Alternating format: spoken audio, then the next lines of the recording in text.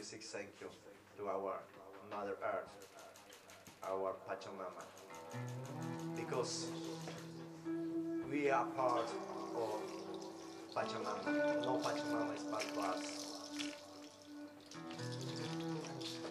We need to concentrate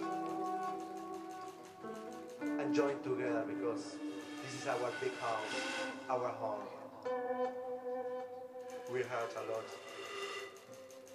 And the only, the music is the way to say sorry.